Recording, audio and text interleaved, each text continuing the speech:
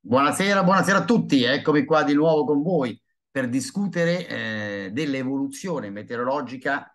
eh, nel medio-lungo termine adesso. Oggi abbiamo visto come eh, gli allarmismi relativi al, all'arrivo di eventuali uragani nel Mediterraneo fossero ingiustificati, non per questo eh, gli uragani in Atlantico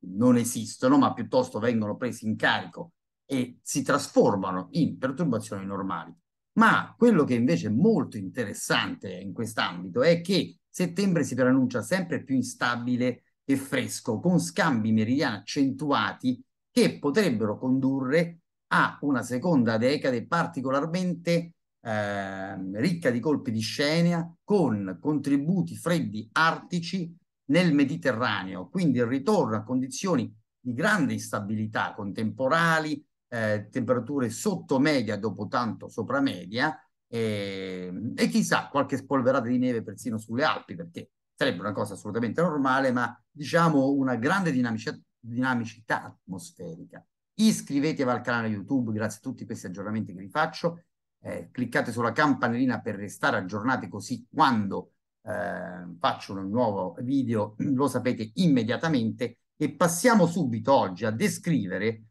non la situazione attuale, ma quella che verrà. Vi ho mostrato oggi in questa carta che vedete, questa è la circolazione nella media troposfera, quindi dove vanno le grandi figure bariche con eh, le linee bianche che indicano la pressione al suolo. Vi ho fatto vedere come l'uragano Daniel, che è presente tuttora di categoria 1 in Atlantica, ovest delle Azzorre, eh, si dovesse confrontare con quella che è la circolazione attuale, che vede una grande depressione eh, nel vicino Atlantico che manda aria calda da oggi per 3-4 giorni nel Mediterraneo centrale, facendo aumentare le temperature. Quindi le temperature aumenteranno nei prossimi giorni, nell'immediato, ma poi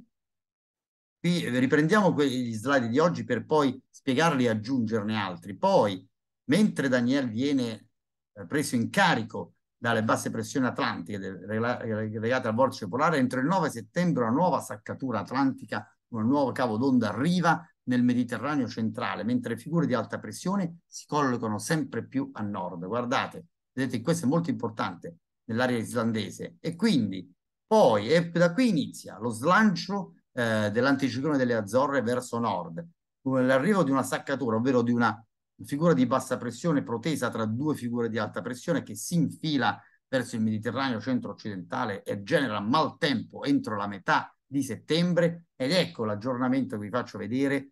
Sempre più marcata l'affermazione di un'alta pressione in area islandese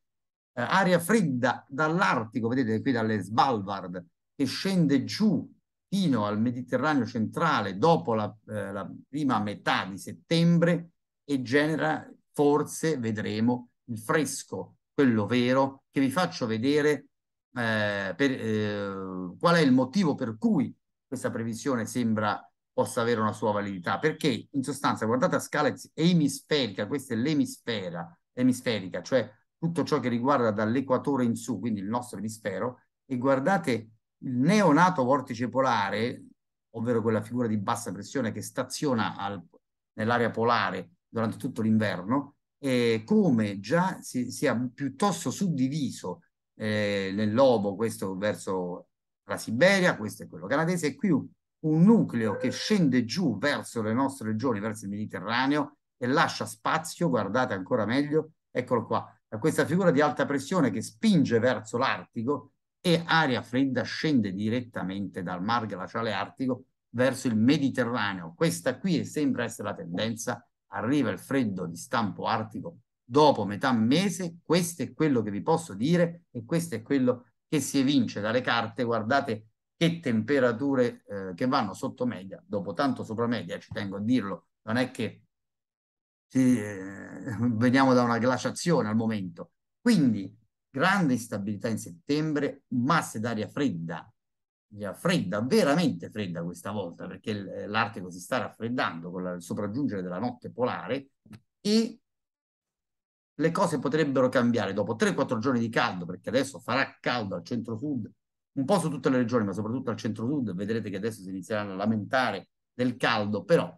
ci sta, è una ondata di caldo di settembre, forse l'ultima, ma poi, ma poi arriverà molta aria fredda. ne riparleremo. Un abbraccio a tutti, continuate a seguire perché aggiornerò molto spesso. Ciao ciao a tutti!